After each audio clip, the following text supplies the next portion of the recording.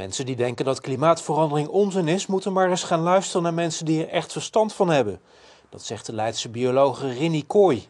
Zij verbaast zich over alles wat er nu al in bloei staat in Leiden. Veel te vroeg, zegt ze.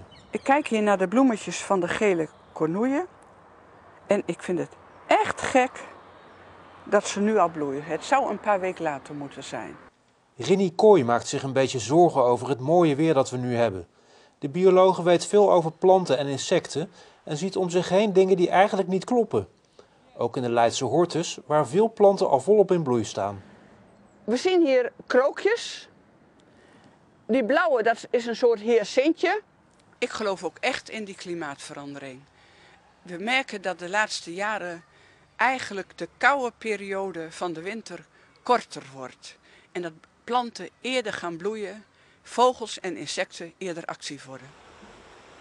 En het feit dat ze stuifmeel halen betekent dat de koningin eh, al eitjes gelegd heeft en dat er dus jonge bijtjes zijn die gevoerd moeten worden.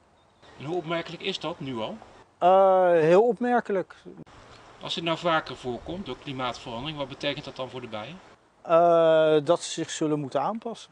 Er zijn ook best veel mensen die te zeggen van ja, klimaatverandering, dat, daar geloof ik niet echt in. Dan moet je luisteren naar de mensen die verstand hebben van het klimaat en van de processen die hier ga gaande zijn. Het is een beetje een dubbel gevoel misschien, hè? want uh, je denkt van oh lekker, we gaan naar buiten en we zien en horen van alles. Maar aan de andere kant misschien niet zo goed. Het is niet zo goed en ik ken dat dubbele gevoel. Maar ik houd ook van een winterse dag met een klein beetje vorst en de zon die schijnt en mensen die kunnen schaatsen.